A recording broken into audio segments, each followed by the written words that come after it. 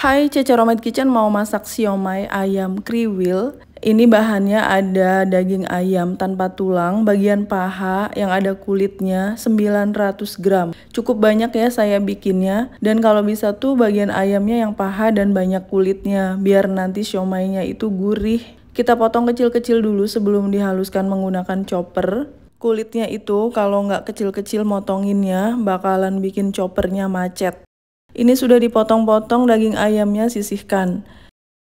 Bahan untuk membuat siomay ayam kriwil ini kita pakai daun bawang. Boleh pakai yang kecil-kecil ini, boleh juga pakai daun bawang yang besar-besar itu. Daun bawangnya lumayan banyak, kita potong-potong dulu.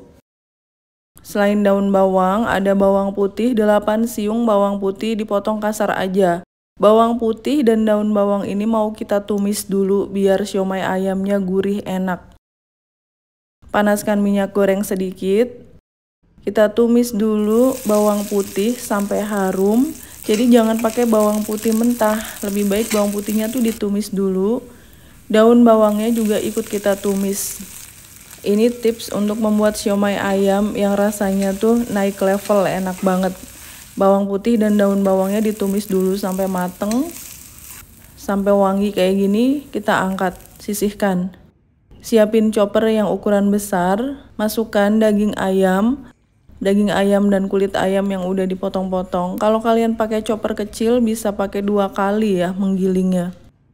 Dua butir telur ini kita cuma ambil putihnya aja. Dua putih telur kita masukkan.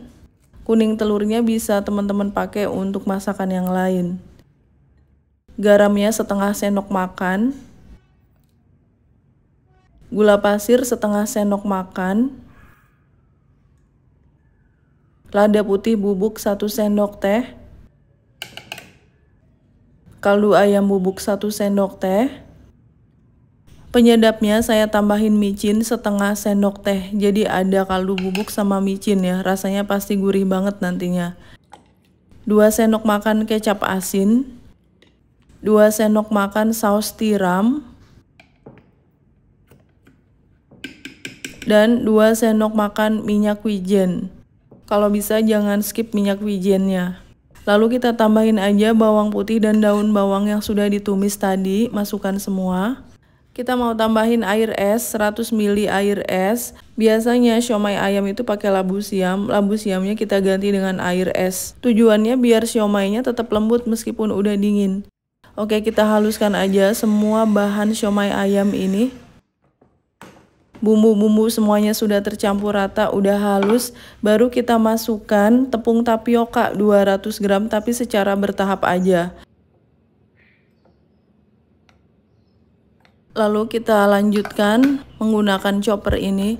Kalau misalnya nggak bisa halus, nggak bisa rata kayak gini, nggak apa-apa. Nanti mencampurnya pada saat udah dipindahkan ke wadah yang lebih besar. Diaduk-aduk manual juga bisa. Oke, ini saya coba haluskan dengan chopper ya. Memang agak susah, jadi kita pindahin aja ke baskom atau ke mixing bowl. Gak masalah, diaduk-aduk pakai sendok kayu kayak gini. Yang penting itu bumbu dan daging ayamnya sudah tercampur rata, baru terakhir masukin tepungnya. Sampai dengan teksturnya seperti ini. Nah, untuk membuat siomay ayam kriwil itu pakai tangan aja. Tangan saya bersih. Langsung aja dibentuk pakai tangan, jangan dibulet-buletin biar dia kriwil.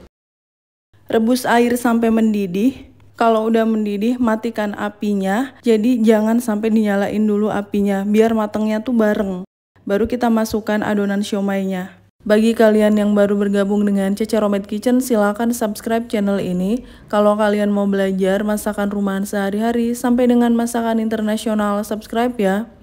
Kalau siomaynya udah masuk semua, baru kita nyalain apinya, terus kita rebus sampai mengapung. Ini sudah mengapung, kita angkat, langsung masukkan ke panci pengukus. Saya udah manasin panci pengukus, Masukkan siomay ayam kriwilnya ke dalam panci pengukus. Hasilnya cukup banyak ya. Kita tutup dan dikukus selama kurang lebih 20 menit.